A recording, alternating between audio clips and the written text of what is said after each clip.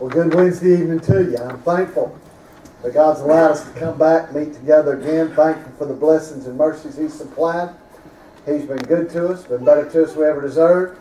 I'm thankful that uh, He's promised us He'd never leave us, never forsake us, and I'm thankful tonight that He's still able to answer prayers. He's He's been good to us. I hope tonight that you've come praying. I hope tonight you've come lifting me up. I hope tonight you've come expecting to, to see God move.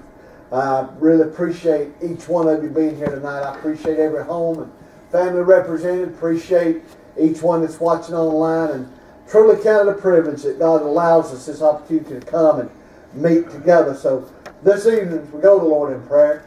Let, us just pray for the service tonight. Pray that, that God will bless, that He'll give me the touch that I need, that I'll say what He'd have me to say, and that uh, He'd just come down and He'd move, and that hearts would be stirred, we'd be lifted up, and be more about the Father's business. Let's pray for one another. Let's look around, see each one. There's people in here going through quite a lot. And so let's lift each other up. Let's lift up those that, that are in the hospitals and, and, and homesick. We'll talk about some of them in a little bit. Let's, let's just pray tonight for our church as a whole. That God will continue to bless and take care of us and watch over us and, and that we'll be what He'd have us to be. So tonight as we go to the Lord in prayer, Roger, would you lead us please, we pray. I always think for another opportunity to back in the house with the Lord's Lord, have your way. God, we just want to thank you for all your blessings. Father, continue to Help us with in the each and every day. Father, God, I thank you for that touch. you. Father, send your only begotten Son, Father, we can have salvation. you, Father, Father, we know we weren't worthy. We know that there was no other way to you. But Lord, Father, you tonight. loved us enough. Father, you willed to reach down just, even when we couldn't reach up. Father, we just pray for each one that's here tonight, Father. You know you each heart need. God, we just pray you come down and touch me with one in me the mighty for your way, will. Father. For the service tonight, Father, with the Oh, word, Father, just give us exactly what our hearts stand most in need Father. You know the tonight, need of the hour.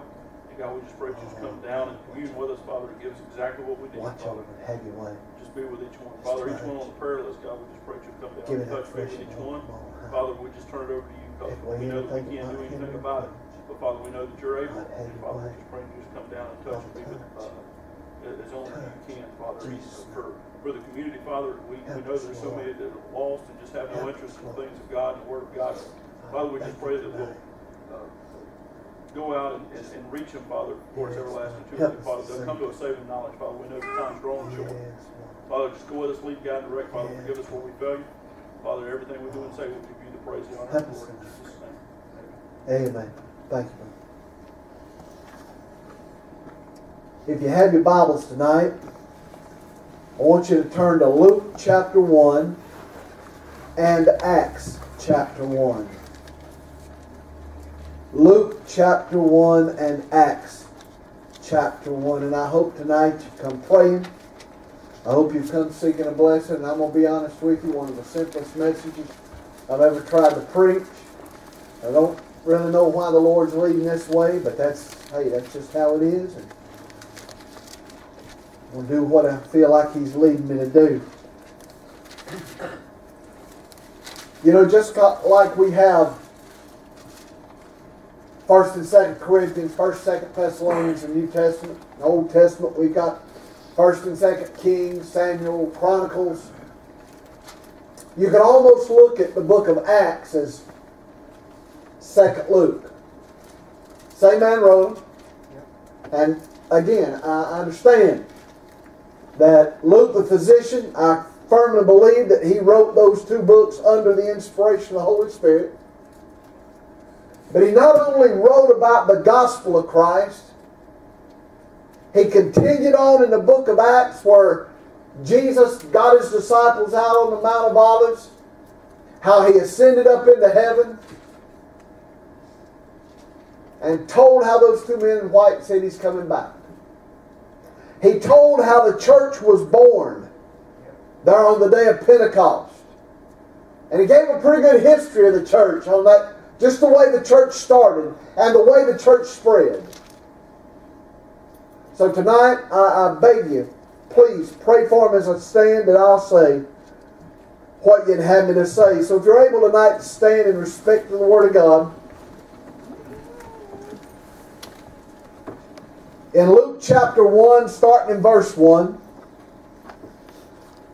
He says, For as much as many have taken in hand to set forth in order a declaration of those things which are most surely believed among us, even as they delivered them unto us, which from the beginning were eyewitnesses and ministers of the word, it seemed good to me also, having had perfect understanding of all things from the very first, to write unto thee in order, most excellent Theophilus, that thou mightest know the certainty of those things wherein thou hast been instructed. And in Acts chapter 1, verse 1, he says, The former treatise have I made, O Theophilus, of all that Jesus began both to do and teach, until the day in which he was taken up, after that he, through the Holy Ghost, had given commandments unto the apostles whom he had chosen. Thank you. You can be seated. Let's go to the Lord in prayer. Fathers, we come to you again tonight. We thank you, we praise you for the day that you've given us and for the blessings and mercies of life. We thank you for the way that you've watched over us. You've supplied our needs. You've given us health and strength. You took care of us. Father, tonight I know that every good thing we have is from you. Without you, we'd have nothing. I thank you tonight, Father, for the privilege we have to be back in your house, for each one of these that's made their way out. I thank you tonight, God, that we've got this opportunity to come and meet together again. I thank you for those that are watching online tonight. I ask you to bless them. Father, I thank you more than anything tonight for saving me.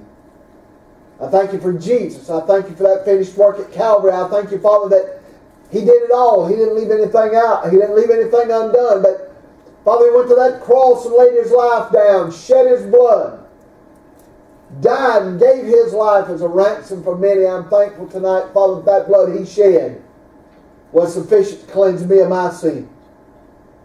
And I beg you, God, tonight, forgive me where I've failed you, where I've come short, where I've let you down for the things that I've said, I've done, and I thought that was displeasing to you. I pray, God, you remove them and take them away. Father, tonight I beg you to help me as I stand try to preach. God, I ask you for that fresh touch, that fresh anointing from on high. I ask you, Father, just come down and bless in the way that you see fit. I ask you, God, to take away anything that might hinder or quench your spirit. I ask you, God, tonight to overshadow this place. I ask you, God, tonight that hearts will be stirred, souls will be lifted up, that your people will be encouraged, be challenged. I ask you, God, tonight to watch my mouth, guard my lips, don't let me say it wrong.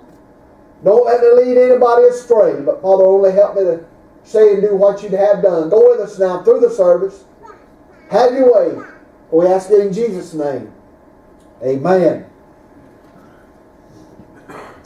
Just as Paul wrote two letters to the Corinthians, he wrote two letters to the Thessalonians, he wrote the letter to the Galatians, to the Philippians, to the Colossians, and to the Romans.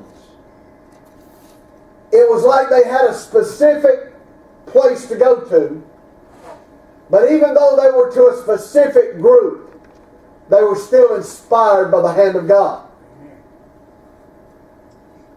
As Luke is writing these two letters, he's writing them to a man by the name of Theophilus that I don't know anything else about him. But he's writing under the inspiration of the Holy Spirit. And he says, he says in Luke chapter 1, for as much as many have taken in hand to set forth in order a declaration of those things which are most surely believed among us, we need to understand tonight that the gospel of Christ, the life of Christ, the ministry of Christ, the death, the burial, and resurrection of Christ are absolutes. They took place. We don't have to be religious to understand that Jesus was born. We don't have to be religious to understand that Jesus had a ministry. We don't have to be religious to believe that Jesus died on the cross. That's a historical fact. Mm-hmm. But you've got to have a faith to believe that he came out of that tomb victorious over that hell and the grave. And, it, and, and Luke not only talks about how he did indeed come out of that tomb, he tells us what happened after he came out of that tomb. So he said this was not just a figment of our imagination. He was dead. Those Roman soldiers made sure he was dead. You know, the Bible says that he gave up the ghost, he bowed his head, he died. People didn't usually die that quick from crucifixion. So he even tells us how the, the, the Roman soldier took that spear and shoved it up in to his chest. And out came blood and water. They made sure he was dead. They were very efficient at their job. So there's only one reason, one way possible, that four days later he was seen of plenty and seen of many. There's only one way that 40 days later, 500 people followed him out to the Mount of Olives. And that was for him to rise again. And Dr. Luke makes that a fact. He said, of all these things that we have most certainly believed, even as they delivered them unto us, which unto us, listen, which from the beginning were eyewitnesses and ministers of the word. We don't hear much about Luke. We don't hear anything about Luke during the four Gospels of Jesus' ministry. But apparently, Luke had followed him. Yeah. Luke watched him. Luke saw these things. Luke knew from first-hand experience. You know, as Peter said, you know, what we've given to you, we're not cunningly devised fables, but we were eyewitnesses. We heard the voices. We saw the things he did. And that's what Luke's trying to tell everybody. So he said, It seemed good to me also, having had perfect understanding of all things from the very first to write unto thee in order most excellent Theophilus, that thou mightest know the certainty of those things wherein thou hast been instructed. And that word certainty literally means safety, it means security. In other words, what he's saying is, you can bank on what I'm telling you. You don't have to worry, you don't have to doubt. Luke says, when I give you the gospel, when I tell you that Jesus died, was buried, and rose again, he said, you can bank your soul on it without any fear. So then when he gets over to Acts chapter 1, he sort of continues the accounts. And he says, The former treatise have I made, O Theophilus, of all that Jesus began both to do and teach until the day in which he was taken up. After that, he, through the Holy Ghost, had given commandments unto the apostles whom he had chosen. And he talks on down about how he showed himself and, and different things. But I want to look at verse 1 tonight and be sort of concerned with that more than anything else, centered in on that, on just one phrase out of verse number one. And he says, Of all that Jesus began both to do and teach. Now, if we went through, I know what John said over in over in 1 John chapter, I think it's chapter 5, when he says, if everything that Jesus had done, no, he don't. He says that in the gospel, not over in 1 John. If everything that Jesus did was written down, the, the, the world couldn't contain the books. Right. And tonight, I can't cover, and I'm not going to attempt to cover. But there was a few things that the Lord brought to mind of the things that Jesus began both to do and to teach. Now, there were things that Jesus did that, no, I can't do. But there are those things that what he did by doing those, He taught us something, and those things you and I can do. That's right. Mm-hmm. So, He says those things that Jesus began to do and teach. So every, pretty much most of the scriptures I'm going to give you tonight is out of the book of Luke.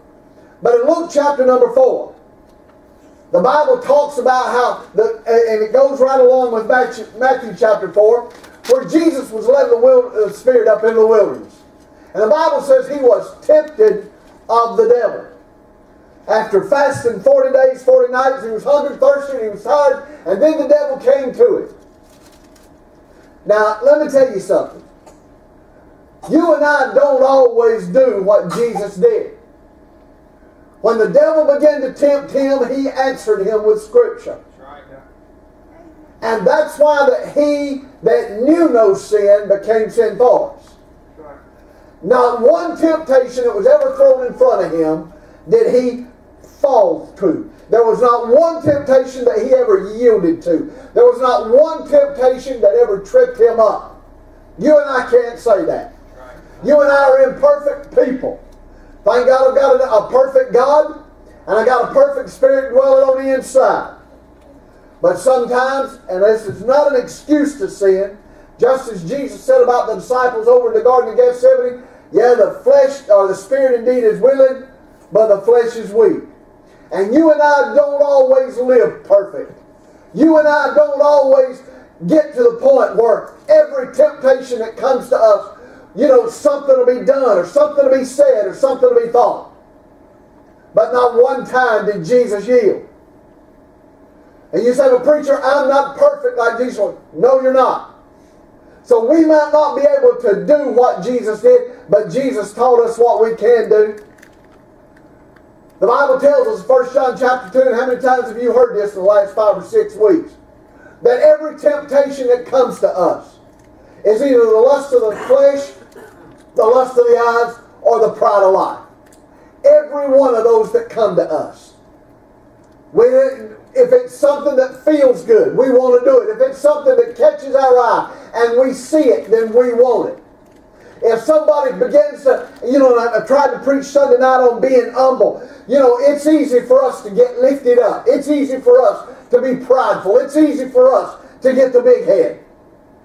But in everything, see, even Jesus, it's even John chapter 6 or John chapter 7, his brothers who did not at that time even believe who Jesus was his brethren said to him, Hey, it's time to go down to, to Jerusalem to the feast. If you're really who you say you're, go on down there, because everybody will want to see you.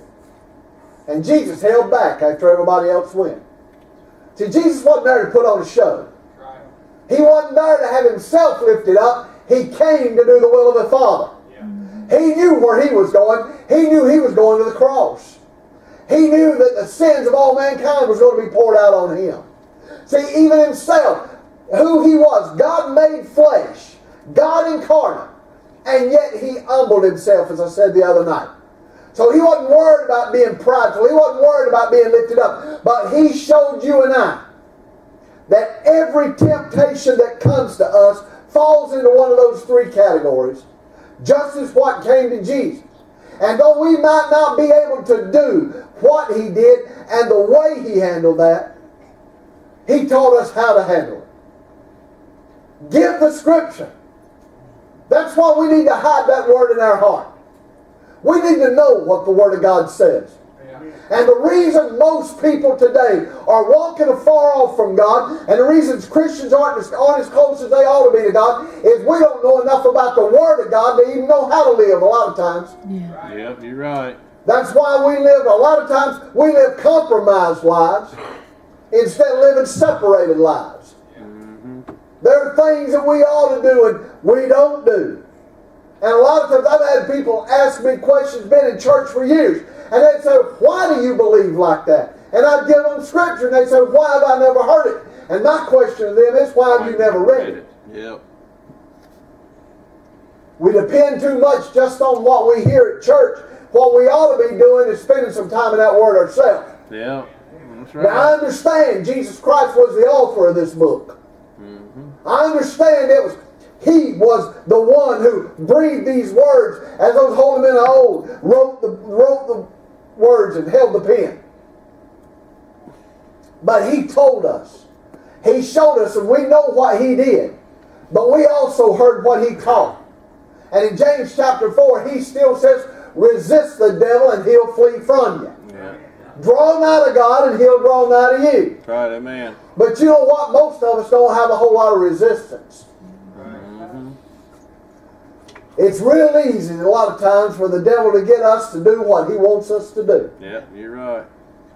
You know, the majority, and, and, and down through my Christian life, and especially trying to pastor, the, the majority of the hurt and the majority of the stirring and the majority of the devil's work gets done by professing, professing Christians. Yep. Yeah, you're right. It does.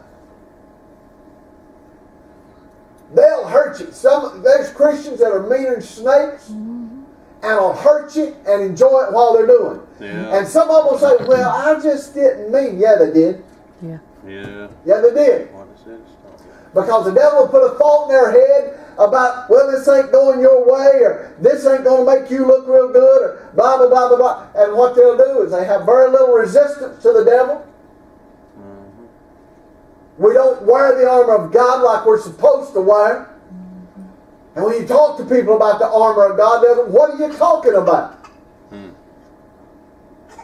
You know, we ought to have that shield of faith. If you ain't, look, if you've got the helmet of salvation, if you don't want nothing else, at least take the shield of faith and the sword of the Spirit, which is the Word of God. That's right. But He told us we might not be able to, we're, and, and we're not going to live perfect like Christ did, but He taught us how mm-hmm. to get out of the clutches of the devil. That's right. And it doesn't just say, resist the devil and he'll flee from you. What's the next verse say? Draw nigh to God And he'll draw. and he'll draw nigh unto you. Yeah. And then I think it goes right along to say, cleanse your hearts, you sinners. Purify your hands, you double-minded. We've got to learn. The reason the world's in the shape it's in, and I'm not trying to repeat everything I said Sunday night.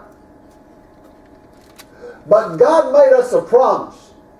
Not that the wicked had to get right for Him to heal our land, but for God's people to get right. And He'd heal our land. So in Luke chapter 4, what He did was resist the devil. What He taught us was that we can resist Him too. So He said, of all the things Jesus began both to do and to teach. In Luke chapter 7, He taught us a couple of lessons. A centurion came to him and said, Master, my servant's at home, sick unto death. You're the only hope he's got. Now that's that's not King James. That's a paraphrase. That's what that man told him. You don't touch him, you don't heal him, he's going to die. What did Jesus say? Jesus said, I'll go heal him. That man made a statement. Now I know what Jesus did. Jesus looked at his faith. And Jesus acted on that faith and rewarded that faith. Mm-hmm. But that man told Jesus, he said, I'm not even worthy for you to come into my house. Mm-hmm. He said, I'm a man of great authority. And if you stopped and didn't read much of that, you'd think he was just bragging on himself. He said, I'm a man of great authority. If I tell somebody to go, they go. If I tell somebody to come, they come. All I got to do is say the word. He said, Master, all you got to do is say the word because I'm not worthy for you to come into my house. And Jesus said, I ain't seen faith like this anywhere in Israel. And understand something. This man was a centurion. That meant he was a Roman. That meant he was a pagan. That meant he'd grown up worshiping all these pagan gods, not the God of Abraham, Isaac, and Jacob. But they told Jesus this man, he had helped them and he was a good man. But he taught us something. It's more than just faith. I know we've got to have that faith. But we've got to get to the point that we need to learn in that passage of Scripture that there's not a one of us worthy for Jesus to live in this house. Mm-hmm. There's not a one of us worthy of Him getting down in the dirt like that woman taken in adultery. There's not a one of us worthy of Him picking us up out of the miry clay and setting our feet on a solid rock. You and I are a state that reaches to high heaven without the grace of God. We are sinful, we're nasty, we're hell deserving. There is not one thing good about me and you. See, I understand what I am. But I'm afraid most people in the world don't. And I know that Jesus acted on that faith, and Jesus was thankful for that faith. He was glad to see that faith of a man. That's all you got to do. And I know he taught us in that passage of Scripture that if we will have the faith of a grain of mustard seed, we can say to that mountain, move to the sea, and that mountain's going to move. But again, that passage of Scripture tells every one of us, or reminds us, I'm not good enough to have Christ in my life. I have talked to too many people in my life that are good enough, they don't have to go to church. They're good enough, they don't have to accept Christ. They're good enough that they're going to get to heaven on their works. They're good enough that their good's going to outweigh their bad. And one of the biggest, that's one of the biggest problems in our world today, and one of the loudest messages that needs to be shouted from the rooftops, outside of the fact that Jesus saved souls, we need to understand the fact that Paul, just like he told Timothy, Jesus has come to save sinners, absolutely. But Paul said, of whom I am chief.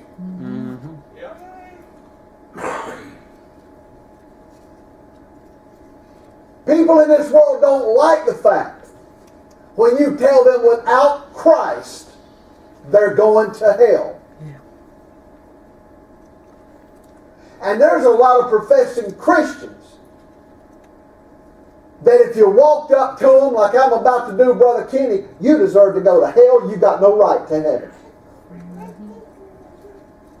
And a whole lot of church members going to get mad and a hornet over that statement. Because we don't understand what we are and who we are. That there's not a one of us worthy. Mm-hmm. None of us. When think about John the Baptist. Jesus said there's not a man born of woman that's any greater than John the Baptist. John, the last Old Testament prophet. You know, they, he's back out of the way when, when, when John had every right to be in the temple on a daily basis.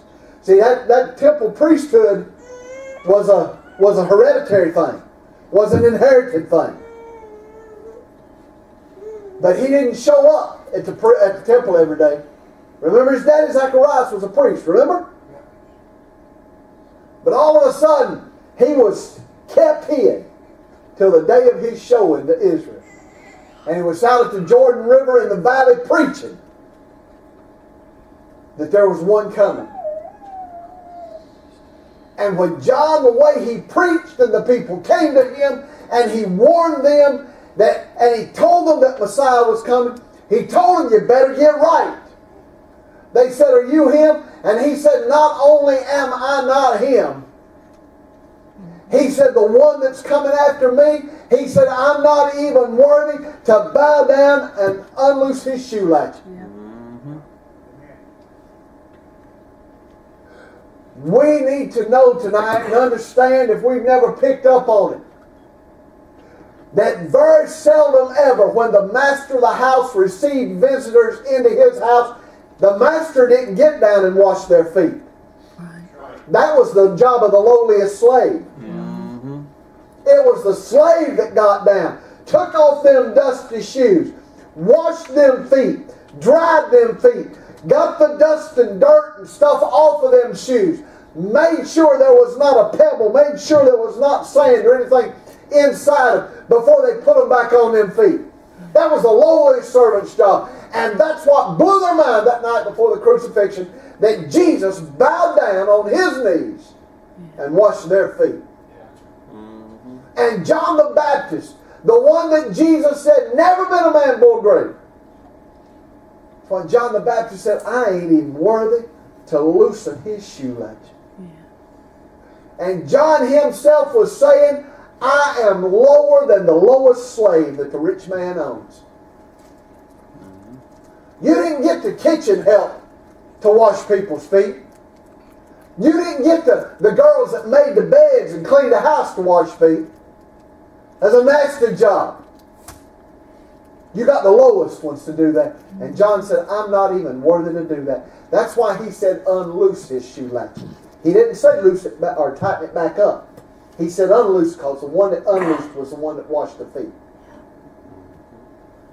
And he said, I'm not even worthy to do that. Tonight, who do we think we are? And maybe this is still going along with that humbleness from Sunday night, but why do we think that we are really more? Without Christ, who are we? I'm dirt. Without Him picking me up out of the dirt, I'm still there. Without Him breathing into my nostrils the breath of life, I'm dead spiritually. Yeah. But thank God today I got saved. I got that new breath. Amen. Breathed on us just like He did on the day of Pentecost, and I got saved by the grace of God. Yeah. But until that happened, I wasn't even worthy for Him to be in my presence.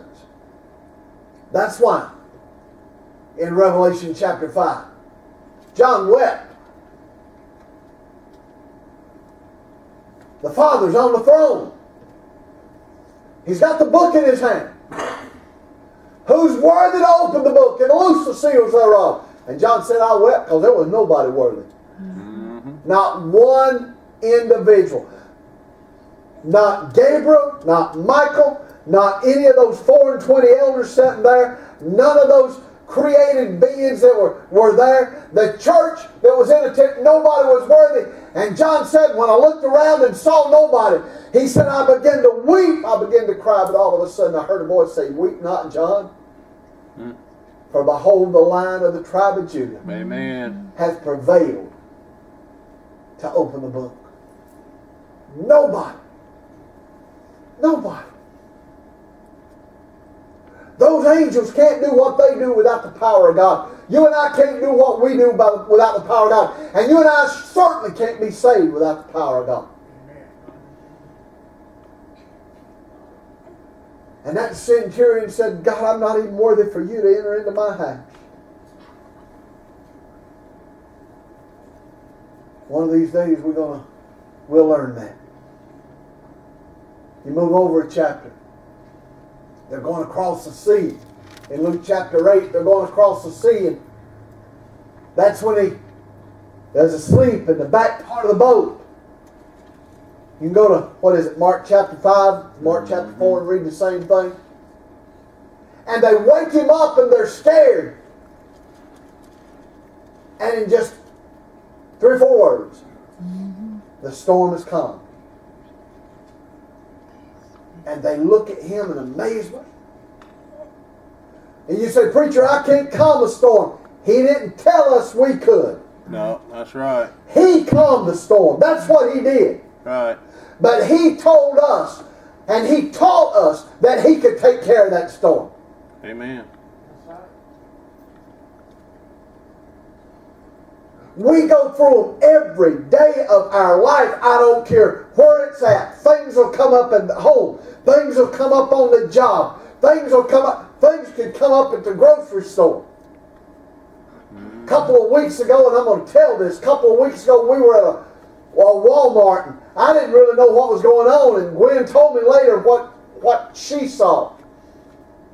And we were in the, a, the had the potential of being in a real ugly situation. When a man had his buggy turned crossways in the aisle, blocking people, and it was almost like he was daring them to come by. So we come on these storms every day of our life. And no, I can't speak and the storm go away. So we know what he did, but we also know what he taught. And we need to keep in mind and don't ever forget it does not matter how big the storm, how deep the valley, how tall the mountain, or how dark the skies are, or whatever's going on. He is still able to bring us through whatever we're going through. That's right.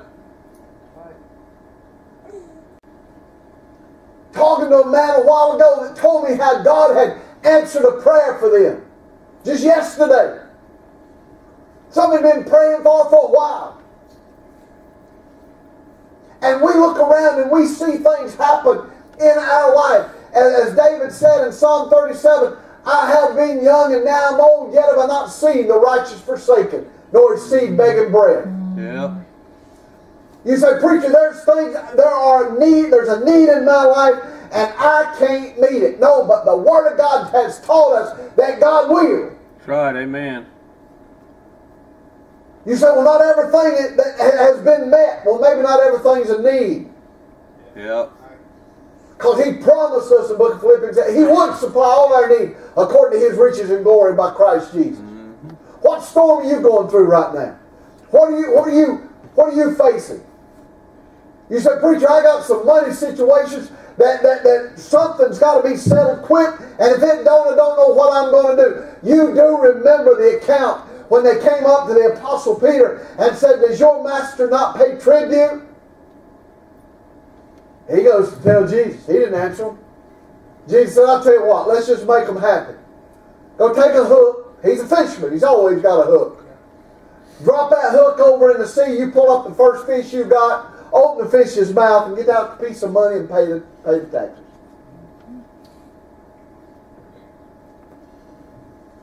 You said, preacher, that's silly. That ain't never gonna. Don't don't tell me what's silly and what ain't. Yeah.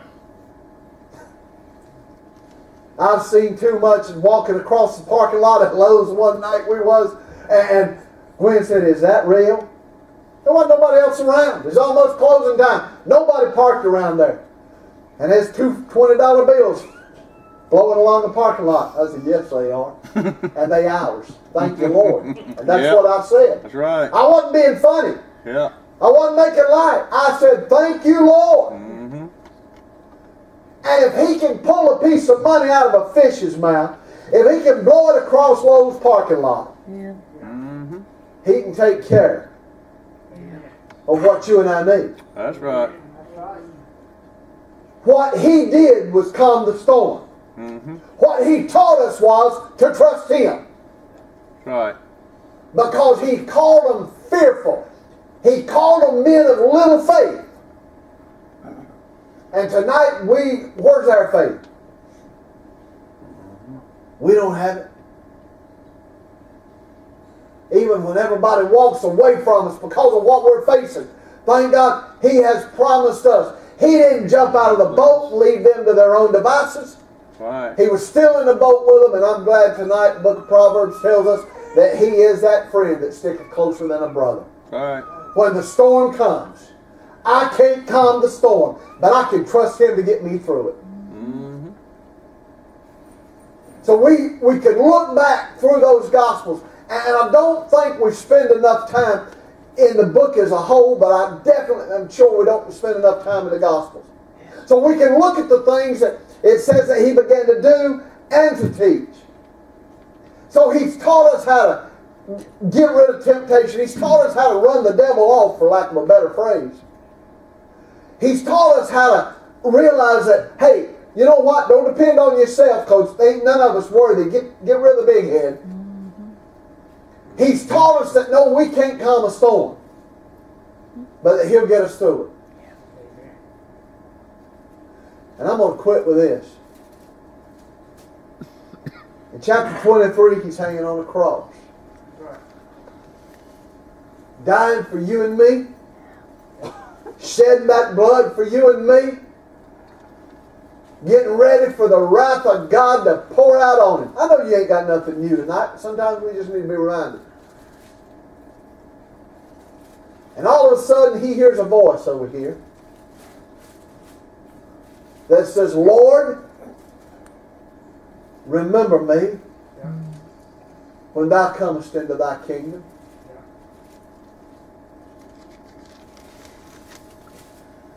He's hearing from a hell deserving sinner that's already looked into the mouth of hell and knows that very shortly he's going down into that pit. That very shortly he's going into that place where the fire is not quenched and the worm dieth not. Very shortly he's going into that place that he will be tormented in those flames.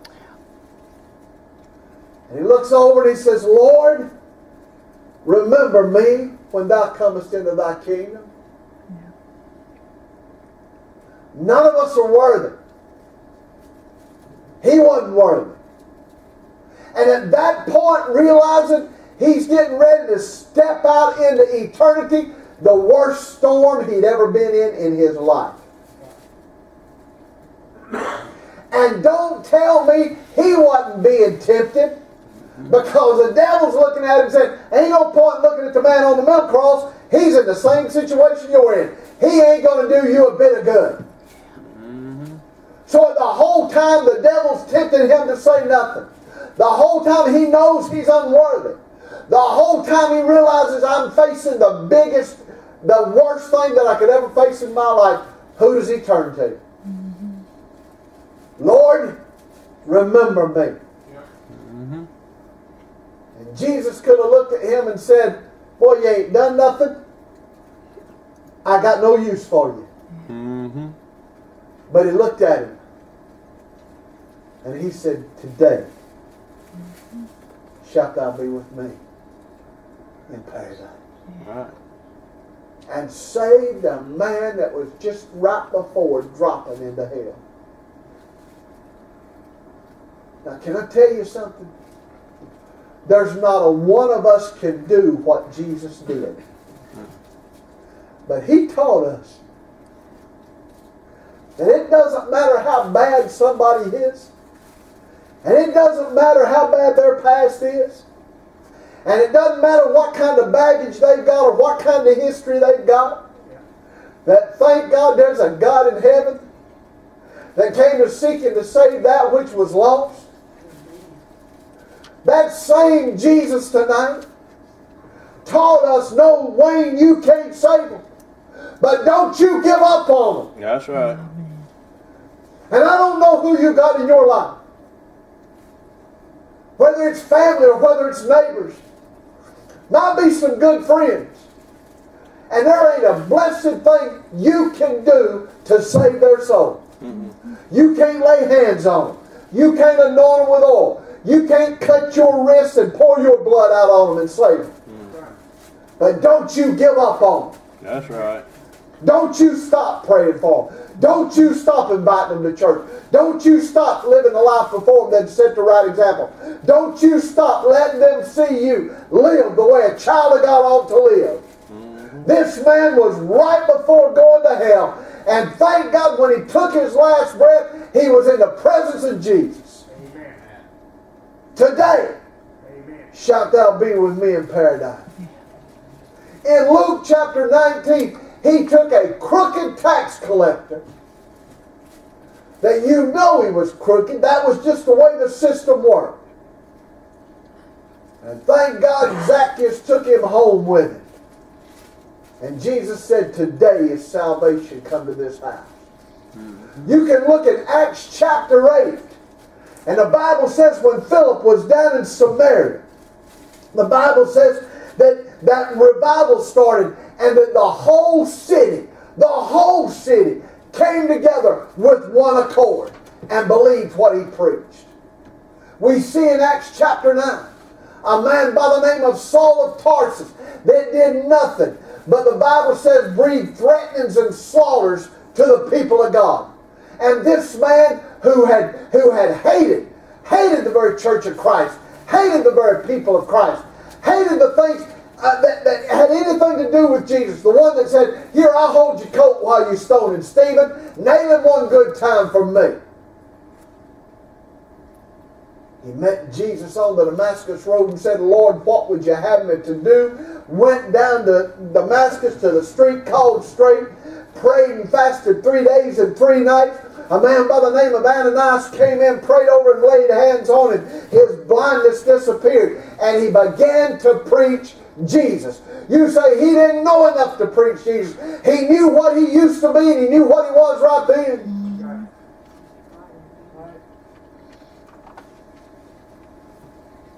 And then you see in Acts chapter 10, we talk about Peter where he used the keys of the kingdom, and I'm done. Used the keys of the kingdom to open the doors to the Gentiles. But again, realize who Cornelius was. Cornelius was another centurion. Cornelius had a band of Roman soldiers under him. He was a man of authority. Understand what happens when a Roman citizen accepted Christ as Savior. That was blasphemy to the Roman emperor. Mm-hmm. The Roman emperors viewed themselves as gods. That's why when they asked Jesus, is it lawful? You know, the, the, the money. Jesus said, show me the penny. Is it lawful to give tribute? Show me the penny. Whose image is on that? Caesar's. He said, render unto Caesar the things that are Caesar's, render unto God the things that are God. If it had that picture on there. And that's why they did not put that money in the in the temple treasury. Is because Caesar considered himself a god. You committed blasphemy against your emperor, which was immediately punishable by death if you chose another god over him. But the Bible says the Apostle Peter walked through the door. Cornelius bowed down on his knees. And he said, Get up, I'm a man like you are. He said, I perceive that God is no respecter of persons. He began to preach Jesus. The power of the Holy Ghost fell on that house, and everybody that was in there was saved. And understand what Cornelius did before he ever got saved. He went around and told everybody, The man of God's coming. You need to come to my house. Had a prayer meeting in his house and didn't even know Jesus. And invited a house full. So when you take people like that, that we would have marked off, people like that that we'd have said, ain't a chance. God said, oh yeah, I can save to the uttermost all those that come to me by Christ Jesus. So tonight, we can't do what Jesus did. But he taught us what we can do. So tonight I I can't defeat the devil by myself, but Jesus said told me how I can defeat him. You know, I can't I can't heal that centurion servant, but I can understand how unworthy I am for him to come to my house. I can't steal a storm. But thank God I can have faith in the one that can, and I sure mm-hmm. can't save people. Mm-hmm. But I can pour them to Calvary. Folks, that's why I've told you during invitation time, I won't tell you what to do to get saved. I'll show you what to do to get saved. Mm-hmm. I guess the first time I ever heard the phrase lead somebody to the Lord, I heard that from Brother Roscoe Bowden. Mm-hmm. I thought, what's he talking about leading somebody? And I saved. And then I realized, you know what? He ain't trying to get nobody to even remotely think he did the saving. Right. Mm-hmm. He's just showing them how to get to Jesus. Yeah. And that's what you and I. Wasn't it Philip and Andrew? And Andrew said, Hey, we found him. You need to come and see him. That's what we need to do. Doesn't matter how far off they are, doesn't matter how, how far gone they might be. Thank God he's still able to reach. Yeah. He's still able to save. So tonight we can't do what Jesus did, but he taught us how to handle those same circumstances. I don't know what your Bible reading habits are like. You say, Preacher, I just read when I get a chance. No, you need to set aside some time to read. Mm-hmm. Make some time during the day at some point. I got too much to do. Well, if you ain't got time to spend at least 15, 20, 30 minutes in the Word, you way too busy. Mm-hmm. I don't care who y'all. Yeah. I don't care who y'all. We're never going to know how to live if we don't look at the instruction book. We can't do what he did, but we can follow his lessons and do what he taught us to do. Father, we thank you for the day and thank you for the opportunity to come and meet together with our brothers and sisters in Christ. I thank you for allowing us to look at a portion of your word. Lord, I pray tonight I said what you'd have me to say. I pray tonight it made sense. I pray tonight that it helped somebody. I pray tonight that it lifted somebody up. God, I realize tonight I cannot do what Jesus did. But Father, I'm thankful tonight that He did teach us how to handle situations. And I'm thankful tonight, Father, that even though I can't save anybody, you've made it plain that it doesn't matter how far off they are, you're still able to go get them. Now, Father, I ask you to continue to bless this church, bless these folks here. You watch over us and have your way through the rest of the service. For we ask it in Jesus' name. Amen.